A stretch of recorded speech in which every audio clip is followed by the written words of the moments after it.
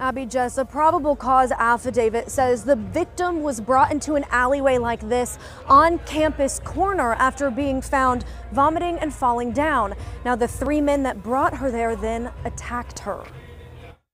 This is a very popular area, especially it's in close proximity to the university. Norman police responded to Campus Corner near Buchanan Avenue and White Street around 1:30 a.m. Wednesday morning after reports of a sexual assault. This probable cause affidavit says the victim explained to police she was quote highly intoxicated when three males forced her to perform oral sex and vaginally raped her in the alleyway. The document continues to say police found video surveillance showing three men walking her into the alley after she fell and vomited, then assaulting her.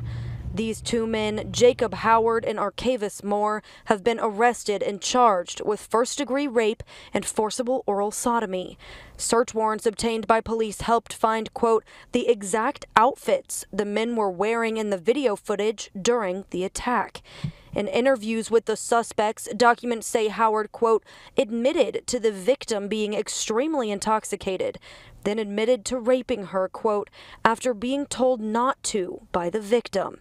Moore also admitted he knew the victim was intoxicated at the time of the assault. Police say the victim was treated at a local hospital. Both men are being held at the Cleveland County Jail on no bond. Now, the third man mentioned in that affidavit has not been arrested. Police say this is still an active investigation, and anyone with any information is asked to contact Norman Police.